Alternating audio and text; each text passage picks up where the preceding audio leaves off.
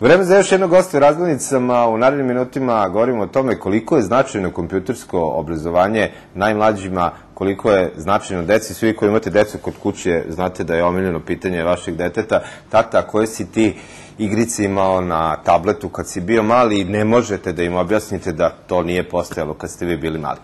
E, o, o tome kako decu e, usmeriti, e, šta mogu da nauči preko leta kada govorimo o kompjuterskom obrazovanju, ra- razgovaramo sa Snežanom Subotić koja je ovde da nam predstavi kompjuterski kamp, komp kamp Snežana. Dobar dan i dobrodošli. Dobar dan.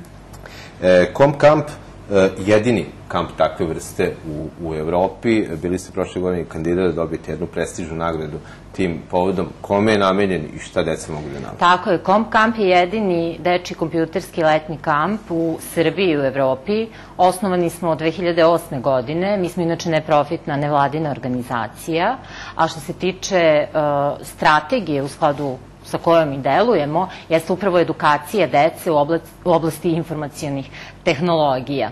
Prošle godine smo bili nominovani od strane Evropske komisije za prestižnu e-inclusion nagradu, koja podrazumeva i koja se zapravo dodeljuje e, inovativnim projektima u oblasti informacijonih tehnologija. Sad ove godine Komp Kamp je u, traje do 18. Jeste. augusta. Kome je namenjen? Koji su to uzrasti je Pretpostavljam na- da nisu oni od 2-3 godine. Nadam Nije, da nisu. naravno, kamp je namenjen e, deci uzrasta od 8 do 16 godina i održava se svake godine od 1. jula do 18. avgusta. Svakako podeljen je u četiri smene, svaka smena traje po 12 dana, tako da svako dete bukvalno boravi 12 dana u kampu. E sad, e, da li su u okviru samog kampa postoje određene e, starostne grupe? Kako ste podelili decu? Da li mi to nešto za neke koji ne znaju ništa o kompjuterima? Sumnjam da ih ima. Ovako, znači grupe su podeljene prema softverima za koje se deca opredele. Mi imamo trenutno u programu 12 e, softvera i taj broj raste svakako. E, Dete može da se odluči za tri softvera. E, Podeljeni su u grupe, znači u zavisnosti da li imaju neko predznanje o tom softveru, u početničke grupe i one koji imaju malo naprednije znanje. E, e sada, e, da li postoji mogućnost da se, da se još uvek prijave zainteresovani roditelji i deca? Tak, tako je, postoji mogućnost u trenutno u toku druga smena, postoje slobodna mesta u trećoj i četvrtoj smeni. A, treća smena počinje 25. jula, četvrta 8. avgusta, pardon, 6. avgusta, pošto kamp traje do 18. avgusta. Svakako, roditelji nas mogu pronaći putem interneta na našem sajtu a, net, a, kompkamp.net, mogu nas Da, moći, kontaktirati. evo gledalci mogu da vide. Tako je i putem broja telefona koji takođe mogu vidjeti 062 477 135.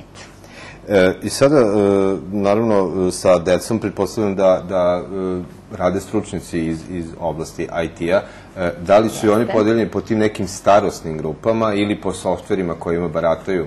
Po da softverima. približimo roditeljima, naravno, Naravno, ono po softverima svakako mi smo ostvarili saradnju sa Univerzitetom u Novom Sadu, konkretno sa Fakultetom tehničkih nauka i sa Prirodno-matematičkim fakultetom, ali imamo i gostujuće predavače iz različitih delova Srbije koji se svakako bave a, kako informacijonim tehnologijama, tako i drugim oblastima koje se tiču dece. Znači, u svakom slučaju, jedna dobra preporuka i za decu i za roditelje kako na pravi način da pomogu. Naravno, ja mislim da su više roditelji oduševljeni ovim kampom od klinaca. Mislim, i klinci super reaguju, ali roditelji još bolje reaguju.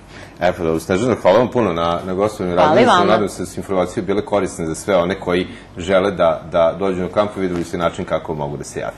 Na. Hvala vam. Hvala.